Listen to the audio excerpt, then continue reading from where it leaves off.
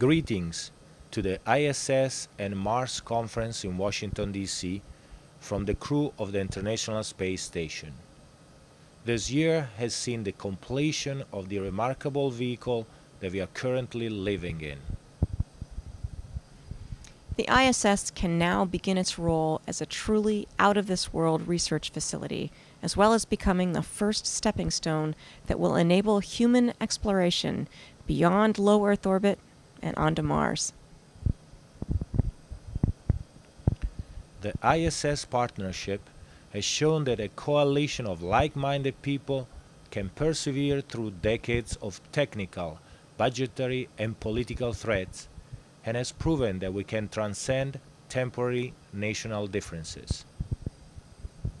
Using this model, perhaps we can venture into the universe as a unified human species, if only we can muster the foresight, courage, and willpower to go.